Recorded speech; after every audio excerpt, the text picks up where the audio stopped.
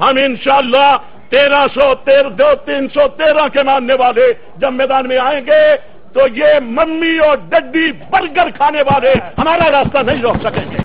असलम दोस्तों मुझे इंदीम खिलजी कहते हैं। दोस्तों, अहल सुनत वल जमात, जो पाकिस्तान की एक बहुत बड़ी जमात है, उनके जो सरबराह थे मौलाना अहमद लुधियानवी साहब, उनके खिलाफ जो है ना, उनको इस हमने जमात से फारिग कर दिया। उनके खिलाफ जो है ना, उनकी जमात ने जो है ना, मौलाना अहमद लुधियानी साहब को जो है शोकाज नोटिस जारी कर दिया, उनके खिलाफ एलामिया जारी कर दिया।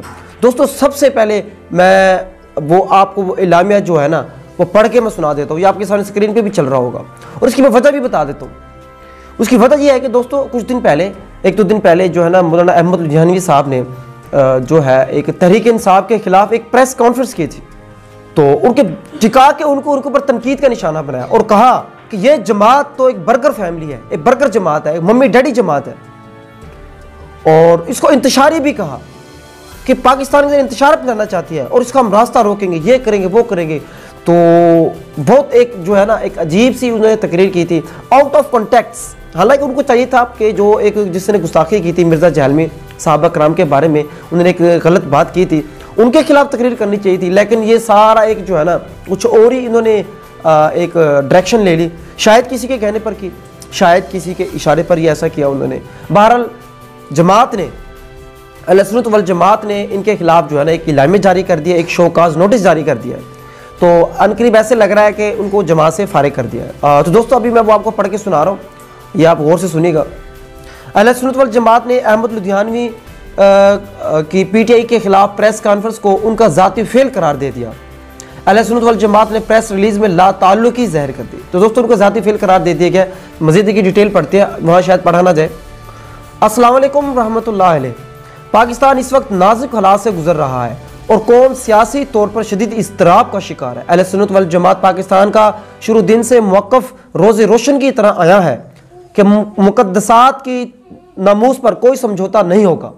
अमीर अजीमत ने हमेशा तमाम अहल सुनत मसालिक को एक स्टेज पर लाने की कोशिश की ताकि मिशन हक की आवाज़ इतिहाद अहल सुन्नत के ज़रिए बुलंद की जाए।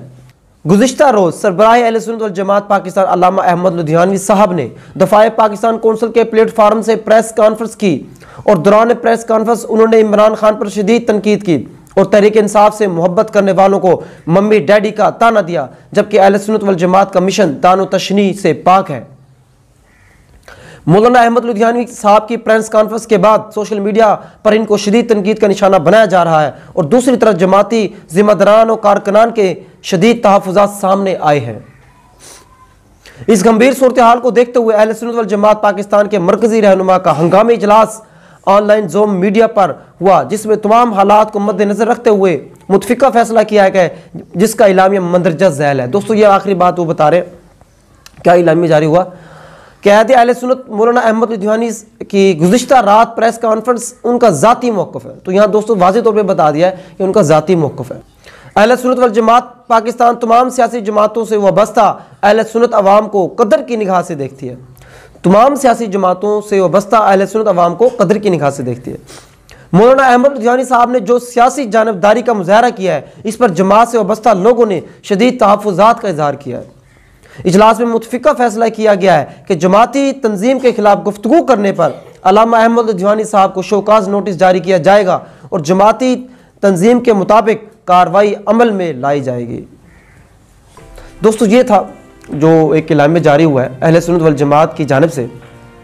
तो उसमें वाज तौर पर लिखा है कि उनका ज़ाती मौक़ है। यकीन करें, जब उन्होंने तकरीर की ना, मुझे भी लगा, मैंने कहा, ये क्या तकरीर है भाई? क्योंकि मुझे खुद ऐसे लग रहा था कि मौलाना साहब जो है ना, जो एक उन्होंने गुस्ताखी किया मिर्ज़ा जहलमी, उनके खिलाफ कुछ बात करेंगे, उनके खिलाफ कोई कोई जो है ना बात करेंगे, वो अपना कोई नुक़ नज़र बयान करेंगे, कोई लाह अमल देंगे। लेकिन वो ऐसे इमरान खान साहब के साथ अचानक ही जो शुरू हो गए। तो खैर दोस्तों, ये आपके सामने तो जो मैंने आपको बता दिया है। कमेंट सेक्शन अपनी राय ज़रूर दीजिएगा। और नए जो हमारे दोस्त हैं, हमारा चैनल ज़रूर सब्सक्राइब कर दीजिएगा। बहुत शुक्रिया। अल्लाह हाफिज़।